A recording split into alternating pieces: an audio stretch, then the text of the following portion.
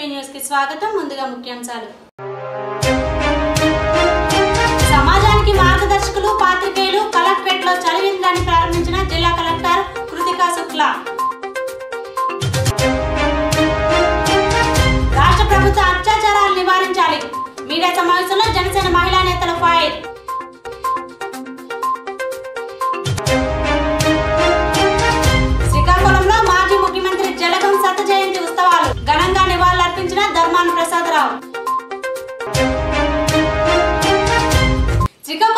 రామోజీ కళామందిర్లో ఉమ్మడి ఆంధ్రప్రదేశ్ మాజీ ముఖ్యమంత్రి స్వర్గీయ జలగం వెంగళరావు గారి శత జయంతోత్సవ కార్యక్రమంలో గౌరవ రాష్ట్ర రెవెన్యూ మంత్రి శ్రీ ధర్మాన ప్రసాదరావు గారితో కలిసి పాల్గొన్న కేంద్ర మాజీ మంత్రి శ్రీమతి డాక్టర్ కిల్లి కృపారాణి గారు.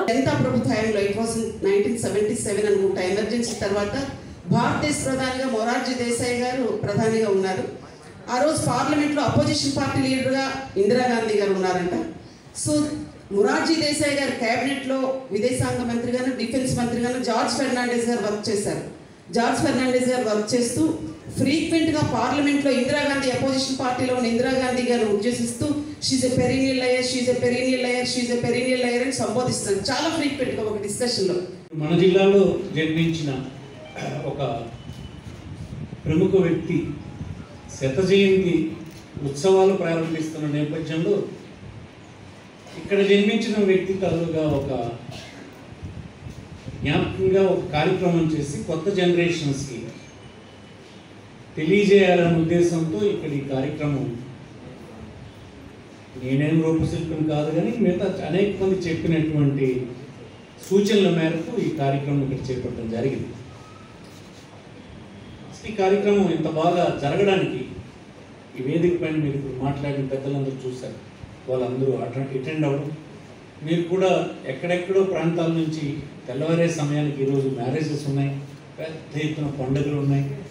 ఇవన్నీ ఉన్నా కూడా పెద్ద ఎత్తున ఈ కార్యక్రమాన్ని గుర్తు ఇది గౌరవంగా జరిగింది మీ రాక వల్ల ఇది గౌరవంగా జరిగిందని నేను భావిస్తున్నాను. మహిళలపై జరుగుతున్న అత్యాచారాలు దాడులను నివారించడంలో విఫలమైన వైకాపా ప్రభుత్వం వెంటనే దిగిపోవాలని జనసేన రాయలసీమ మహిళా విభాగం ప్రాంతీయ కమిటీ సభ్యురాలు పెంజాల శ్రీలత మురళి సంజీవరాయుడు వీర మహిళా సావిత్రి పేర్కొన్నారు.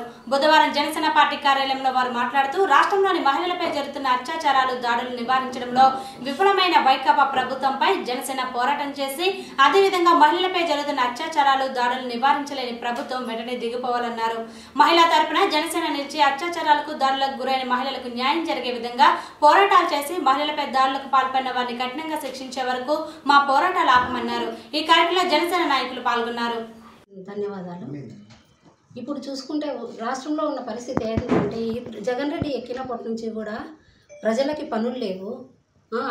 అన్ని అన్ని విషయాల్లోనూ అన్ని విధానాలు అన్ని విధాలుగా ఆర్థికంగా దెబ్బతినే విధంగానే ఉంది కదా తప్ప ఆర్థికంగా ఏదైనా పనులు కల్పించడం కానీ ఏది లేదు. దానికి తోడు మహిళలకి రక్షణ అనేదే లేకుండా పోతుంది. ఆరేళ్ళ అమ్మాయి నుంచి అరవై ఏళ్ళ ముసలి దాకా ముసలామె దాకా రక్షణ అంటూ లేదు. మే వైసీపీలో ఎమ్మెల్యేలు ఉన్నారు మంత్రులు ఉన్నారు అందులో ఆడవాళ్ళు కూడా ఉన్నారు. కానీ ఆ ఆడవాళ్ళ ప్రతిస్పందన చాలా విచిత్రంగా ఉందండి. దాని గురించి మాట్లాడాలంటే ఆడ ఒక ఆడదానిగా నేను సిగ్గుపడే విధంగా ఉంది. పరిపాలన ఎలా ఉందో వాళ్ళు చూసుకోకుండా జగన్మోహన్ అయితే జగన్ జగన్మోహన్ రెడ్డి అయితేనేమి అమరు గారు అమరు కానీ అంబంటి రాంబాబు కానీ వీళ్ళు పవన్ కళ్యాణ్ పది మందికి ఏదన్నా ఇబ్బందులు ఉన్న వాళ్ళకి సాయం చేసేకపోతే ఆయన ఏం చేస్తున్నాడు ఎక్కడ చేస్తున్నాడు దత్తపుత్రుడు చంద్రబాబు నాయుడు అంటున్నారు కానీ ఈ ఖైదీ పుత్రులు వీళ్ళు ఏం చేస్తున్నారో ఫస్ట్ వీళ్ళ పరిపాలన ఎత్తుందో ఒకసారి జనాలు వస్తే మనం ఒక ఎమ్మెల్యేని తిప్పలాడు కొట్టినారు. వీళ్ళని మంత్రులని చూడకోకుండా సీఎం అని చూడుకోకుండా రాళ్ళతో వేసే పరిస్థితి అయితే దగ్గరలో ఉంది. రాష్ట్ర రాజకీయాలలో ఉక్కు మనిషిగా పేరొందిన మహోన్నతమైన వ్యక్తి మాజీ ముఖ్యమంత్రి కీర్తిశేషులు జలగం వెంగళరావు అని రాష్ట్ర ఉప ముఖ్యమంత్రి దేవాదాయ ధర్మాదాయ శాఖ మంత్రి కొట్టు సత్యనారాయణ నివాళులర్పించారు. పశ్చిమ గోదావరి జిల్లా తాడేపల్లిగూడెం మండలం నందమూరు గ్రామంలో బుధవారం నిర్వహించిన జలగం వెంగళరావు శత జయంతి ఉత్సవాల్లో ఆయన పాల్గొన్నారు. పోలీస్ శాఖలో సంస్కరణలు తీసుకొచ్చిన ఘనత ఆయనకే దక్కుతుందన్నారు.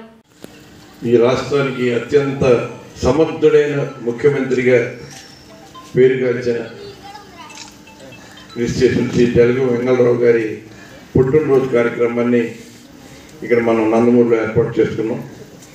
ఈ కార్య ఈ కార్యక్రమంలో వచ్చిన ఈ గ్రామంలో కీర్చేసులు జగన్ వెంగళరావు గారి ముద్ర ఇక్కడ కనపడతా ఉండేది. ఎందుకంటే ఇక్కడ ఒక ఐకమత్యం కట్టుబాటు ఒక పద్ధతి ప్రకారం వెళ్ళడానికి ప్రధానమైన కారణం వెంకటరావు గారు ఆయన కుటుంబీకులుగా బంధువులుగా ఆయన మార్గంలో నడిచిన పెద్దలు కృషి చేసిన మన దేవుపల్లి అప్పారావు గారు ఆ తర్వాత మన బుల్లెట్ అప్పారావు గారు ఇప్పుడు మరి సుబ్బారావు గారు. అలాగే నాకు అత్యంత సన్నిహితుడు బాగా క్లోజ్గా శాసనసభలో ఇద్దరం ఒకేసారి శాసనసభ్యుడు అయినా ఎంత చదువు అంటే అరే వెంకట్రావు అంటే అరే కొట్టు అని సందర్ సంబంధించుకునే అంత చదువుతోటి మన వెంకటరావు గారి చిన్న కుమారుడు వెంకట్రావు నేను చాలా సన్నిహితంగా ఉండే పరిస్థితి. ప్రకాశం జిల్లా ఎర్రగొండపాలెం రాష్ట్రంలో దళితులపై రోజురోజుకు అత్యాచారాలు అధికమవుతున్నాయని వైసీపీ ప్రభుత్వంలో ధన మాన ప్రాణాలకు రక్షణ లేదని బహుజన ఐక్యవేదిక అధ్యక్షులు కోట డేవిడ్ ప్రకాశం జిల్లా అధ్యక్షులు మెడబలమి వెంకటేశ్వరరావులు ధ్వజమెత్తారు. ముందుగా అంబేద్కర్ విగ్రహానికి పూలమాలలు వేసి ఘనంగా నివాళులర్పించారు. అనంతరం వారు మాట్లాడుతూ ఇలాంటి సంఘటనలు పునరావృతం కాకుండా ప్రభుత్వం కట్టుదిట్టమైన చర్యలు తీసుకొని భారత కుటుంబానికి యాభై లక్షల ఎస్క్రేషియా ఐదు ఎకరాల భూమి ఇంటిలో ఒకరికి ఉద్యోగం ప్రకటించాలని ప్రభుత్వాన్ని డిమాండ్ చేశారు. ఇక కార్యక్రమంలో పార్టీ నాయకులు తూమటి అచ్చయ్య ఉద్యోగుల సంఘం నాయకులు Cheduri Ravikumar Muslim youth society అధ్యక్షులు షేక్ ఇస్మాయిల్ షేక్ హబీబ్ మరియు మహజన ఐక్యవేదిక సభ్యులు తదితరులు పాల్గొన్నారు. ఫాస్ట్ ట్రాక్ కోర్టు ఏర్పాటు చేసి మరి దిశ యాప్ ఈ దిశ మరి సెక్షన్ ద్వారా వాళ్ళు గురిశిక్ష విధంగా ప్రభుత్వం చర్యలు తీసుకోవాలి. ఒక దళిత మహిళ మరి ఎర్రగొండపాలెం మండలము వెంకటాద్రిపాలెంలో నివాసం ఉంటూ బతుకు తెరువు కోసం రేపల్లెకు వెళ్ళి కొత్తకోటికి జీవనోపాధి చేసుకుంటున్న దంపతులు ఇద్దరు జరిగిన సంఘటనను ఖండిస్తూ ఈరోజు బహుజన ఐక్య వేదిక ఆధ్వర్యంలో మరి ఆ మహిళకు జరిగిన అన్యాయాన్ని మరి ప్రభుత్వము న్యాయం చేసిన తీరును ఖండిస్తూ మరి రోజు కార్యక్రమానికి విచ్చేసిన బహుజన ఐక్య వేదిక నాయకులకు ముందుగా నేను ముస్లిం యూత్ సొసైటీ మరి అత్యాచార కేసులో దోషులను శిక్షించి మరి ప్రభుత్వం కంటి సురుపు కంటి తుడుపు చర్యగా రెండు లక్షల రూపాయలను ప్రకటించడం ఇది శోషణీయము ఇది ఖండించదగిన విషయము. మరి మాన ప్రాణాలకు రెండు లక్షల ఖరీదు. మరి అదే ఏరా కులస్తులకు జరిగితే అలాంటి చర్యలు జరుగుతాయా? కనుక ఈ విషయాన్ని మేము బహుజన ఐక్యవేదిక తరఫున ఖండిస్తూ ఆమె కుటుంబానికి యాభై లక్షలు రూపాయలు ప్రకటించి అదేవిధంగా పక్కా గృహాన్ని నిర్మించి ఆమె కుటుంబంలో ఒకరికి ఉద్యోగ వసతి కల్పించి దోషులను కఠిన శిక్ష విధించి ఎవరికైనా ఇలాంటి అన్యాయం జరగకుండా ఇలాంటి వారు సమాజంలో జరగకుండా దోషులను కఠినంగా శిక్షించాలని నేను ఈ సభాముఖంగా తెలియజేస్తున్నా.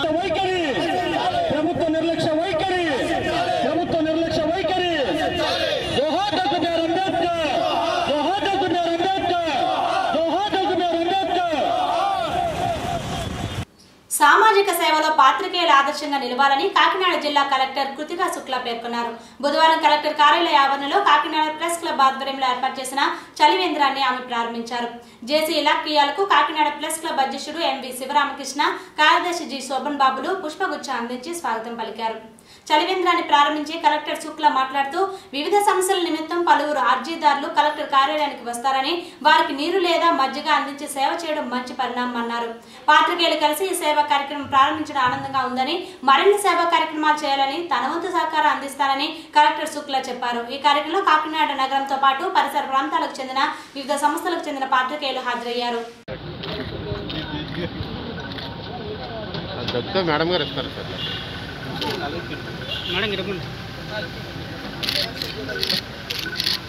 ఓకే ఒరే మజీ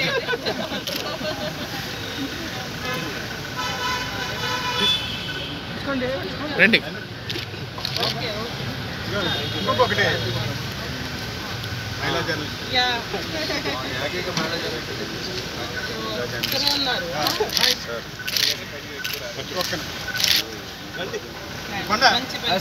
వెరీ గుడ్. వెరీ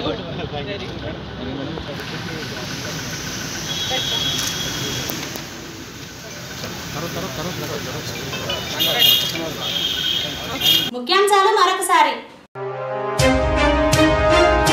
సమాజానికి మార్గదర్శకులు పాత్రికేయులు కలెక్టరేట్లో చలివేంద్రాన్ని ప్రారంభించిన జిల్లా కలెక్టర్ కృతికా శుక్లా.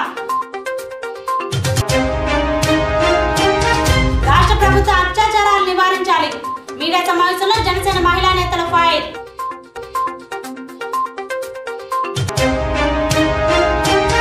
శ్రీకాకుళంలో మాజీ ముఖ్యమంత్రి జలగం సత జయంతి ఉత్సవాలు ఘనంగా నివాళులర్పించిన ధర్మాన ప్రసాదరావు. ఈ వార్తలు ఇంతటితో సమాప్తం. తిరిగి వచ్చే బిడ్డలు మళ్ళీ కలుసుకుందాం. అంతవరకు సెలవు నమస్కారం. జర్నలిజమే శ్వాసగా అక్షరాలే అభ్యుదయంగా. స్థానిక సమస్యలు మరియు సామాన్యుల మనోభావాలపై అనుక్షణం అసలైన సమాచారం ఆవిష్కరిస్తూ సామాన్యుడి కష్టం నుండి ఇష్టం వరకు వారధిగా నిలుస్తూ మీ ముందుకు వచ్చింది.